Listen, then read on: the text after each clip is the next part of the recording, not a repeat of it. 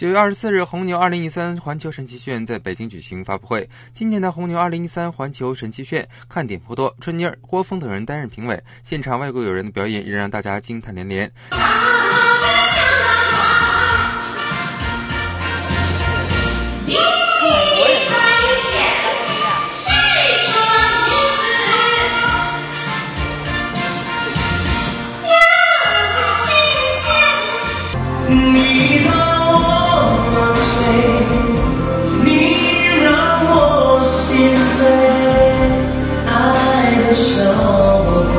今年的红球二零一三环球神奇炫适应全媒体整合传播的时代背景，以全媒介环球真人秀的方式发掘环球达人才艺潜力，在长达四个月的时间内与多家海外媒体合作，网罗全球范围内的才艺达人登上直通 BTV 环球春晚的舞台。节目贯穿新年与春节，为观众带来具有即时直播的多元角度的及震撼式听觉的全媒体新体验。